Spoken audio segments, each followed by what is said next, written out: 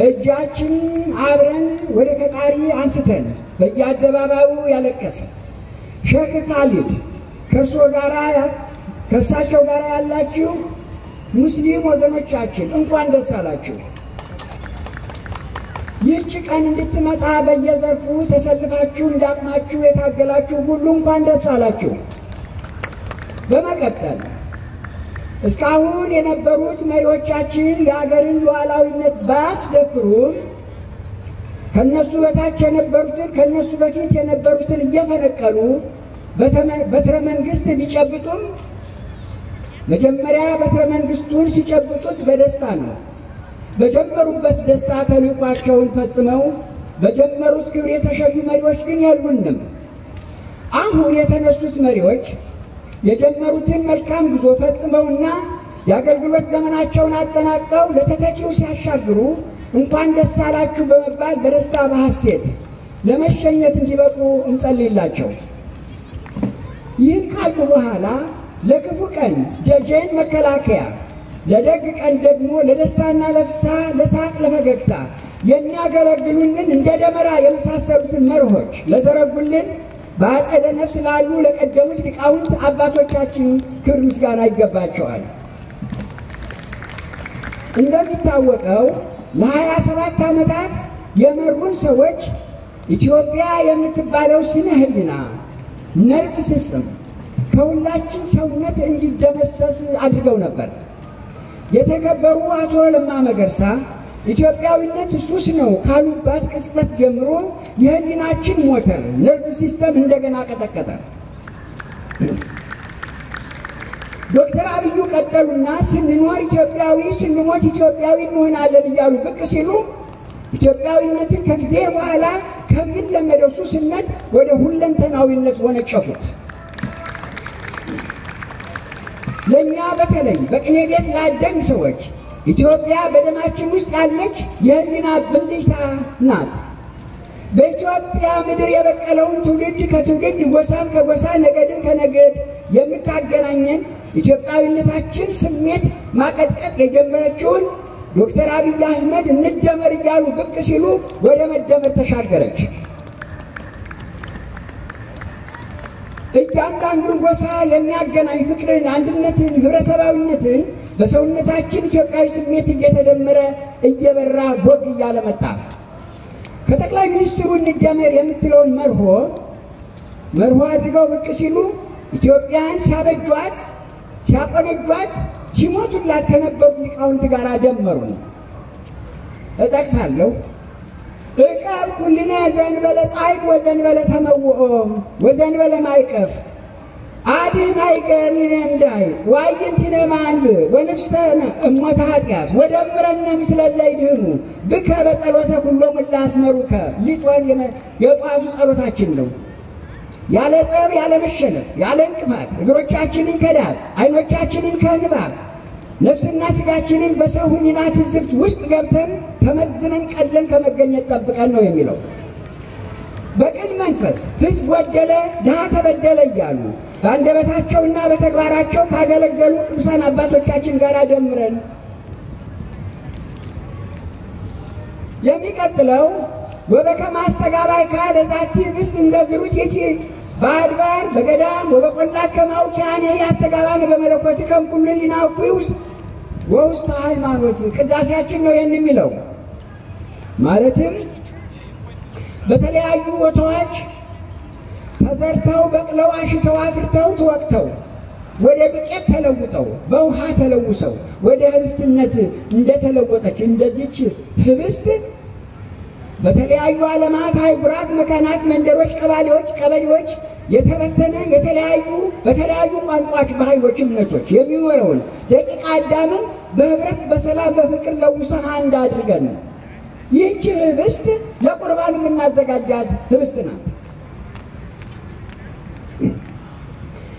ይህች ኅብስት በኢትዮጵያ ኦርቶዶክስ ቤተ ክርስቲያን በአንድምታው ግንዛቤ ክርስቶስ ከቅድስት ድንግል ማርያም ከነሳው ሰብአዊነት በዓለም ካለው ደቂቃ አዳም ጋር ትደምረናለች።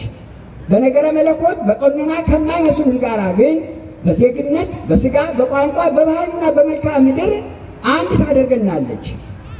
ረቀን በነገረ መለኮቱ ስንሄድ ዘነሳመ እግዝእተ ኩልነ እያልን ቁርባኑን ከምንሳተፍ ከቀሩት ኦሪየንታል ክርስቲያኖች ከኤርትራ ኦርቶዶክስ ቤተ ክርስቲያን ወንድሞቻችን፣ እህቶቻችን፣ አባቶቻችን ጋር ትደምረናለች።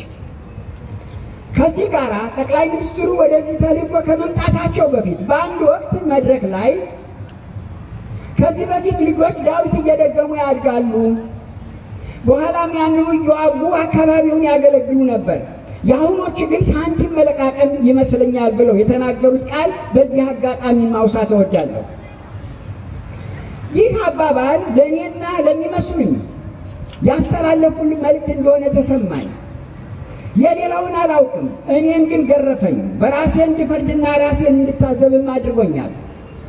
ዶክተር አብይ እናንተ የሃይማኖት ሰዎች ድሃ ተበደለ፣ ፍርድ ጎደለ በሉ ያሉትን ክቡር ፕሬዚዳንት ዶክተር ሙላቱ ተሾመም ደገሙት። ይህ የሁሉም ንግግር የሚያሳየው ክርስቶስ ሞት አሸንፎ ከተነሳ በኋላ ተውበኒ ስልጣን በሰማይ ወበምድር በምድርና በሰማይ ስልጣን ተሰጠኝ ካለ በኋላ ሂዱ በዚህ ስልጣን እስከ ምድር ዳርቻ አስተምሩ ብሎ ለእኛ ለካህናት የሰጠንን ስልጣን የሚያሳይ ነው።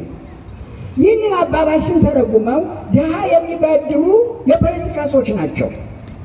እነ ዶክተር አብይ ድሃ ትበድሉ በሉን እያሉ አሳሰቡን እንጂ የተሰጠን ከአምላካችን ከመምህራችን ከክርስቶስ ነው። ይህም ማለት እኛ ካህናት በሞራል በእምነት፣ በንጽህና፣ በጥበብ ከፖለቲካ ሰዎች ልቀኝ መታየት እንዳለብን የሚጠቁም ነገር ነው። እናንተ ኦርቶዶክሶች ብዙ ነገር አሏችሁ። ከእነዚያም ውስጥ የጋራችን የሆነውን የደመራውን በዓል የጥምቀቱ በዓል የጋራችን ናቸውና አታበላሹብን አሉ። በተለያዩ ወቅቶች የተናገሯቸው እነዚህ ሁሉ የመሳሰሉት ኃይለ ቃላት ተፈጻጻሚዎች ናቸው። አታበላሹብን ካሏቸው መንፈሳውያን ታሪኮች ክርስቶስ ተኪ አንዱ የጥምቀቱ በዓል ነው። የጥምቀቱ በዓል ድሃ ተበደለ፣ ፍርድ ጎደለ በሉ ያሉትን አምልተን አስፍተን እያየን አገር በቀል የሆኑትን ድሃ የሚበድሉትን የፖለቲካ መሪዎች ፍርደ ገምድል የሆኑትን ዳኞች እንድንገስጽበት ክርስቲያኖች ነን እያሉ ከውጭ የሚመጡ ወራሪዎችንም ክርስቶስ ያወጃትን ጽድቅ ልታውቁ ይቅርና ከወሪቱ ያልደረሳችሁ አሕዛቦች ናችሁ እያል ኢትዮጵያን እንድንጠብቅበት የታጠቅነው ዝናር ነበር። ይሁን እንጂ በክፉ ዘመነ መንሱት ቅድስት ቤተ ክርስቲያኔ ያስተማረችኝና የሰጠችኝን አደራ ያልተወጣሁትን በጣቴ ልነካው የፈራሁትን በአንደበቴ ልመሰክረው የሸሸሁትን ሁሉ እያደረጉ ያለፉት መንፈስ መንፈሳቸው የሚወቅሰኝ ስለመሰለኝ ይጨነቃለሁ። ከሞት በተረፉት ሰማዕታት ኢትዮጵያውያን ጀግኖች ፊት ስቆም ደግሞ እጅግ አፍራለሁ። በዚህ ሁሉ ስሜቴ ደፍሬ ከፊታችሁ ስቆም ይቅርታ ጠይቃለሁ። በተረፈ እርቁ እንዲከናወን የጣሩ ልዑካን፣ እርቁን ያከናወኑት አባቶች ዋሽንግተን ዲሲን ሲለቁ በሊቃውንት ተጠንቶ በሲኖዶስ ጸድቆ መመሪያ እስኪወጣ ድረስ እስበሳችሁ ታገሱ የሚል አደራ በግልም በማህበርም ተቀብለናል። በዚህ አጋጣሚ በውጭ ላለን አበው ካህናት፣ አሃው ዲያቆናት፣ ጠቅላላ ምዕመናን እንዲያውም በኤርትራ ያሉ ወገኖቻችን የአት አብያተ ክርስቲያናት ሁሉ ቢቻል ከዚህ ቀደም በተከሰቱ ስህተቶችም ሆነ አዳዲስ ነገር በመፍጠር ከመጠቋቆም ተላቀን ይልቁንም ጠንካራና አድርባይ ያልሆነ በመከራ የተፈተነ በፈተናው ዘመን የገቡትን ስህተቶች እያረመ እየገሰጸ የሚታገል የሊቃውንት ጉባኤ እንዲመሰረት መታገል ይገባናል። ዕቀብ ኩልነ ዘእንበለ ፀሐይ ወዘእንበለ ተመውኦ፣ ያለ ጸብ፣ ያለ መሸነፍ፣ ያለ እንቅፋት እግሮቻችንን ከዳት ዓይኖቻችንን ከእንባ ነፍስና ሥጋችንን በሰውና ትዝብት ውስጥ ገብተን ከተመዝነን ቀለን ከመገኘት ጠብቀን ይህን የመሰለ ባህሪ ካላቸው ሰዎች ጋር ከመደመርም አድነን። ተጣሉ የሚል መሪ መልሰህ አታምጣብን። በቀና መንፈስ ፍት ጎደለ፣ ድሃ ተበደለ እያሉ በአንደበታቸውና በተግባራቸው እያገለገሉ ካለፉት ቅዱሳን አባቶቻችን ጋር ደምረን እያልን እንጸልይ። ይህን ጸሎት ወደ ተግባር ለመለወጥ አምልኮት፣ ክብር፣ ውዳሴና ስግደት የባህሪ የሆነው አብ ወልድ መንፈስ ቅዱስ አንድ አምላክ ይርዳን። አሜን።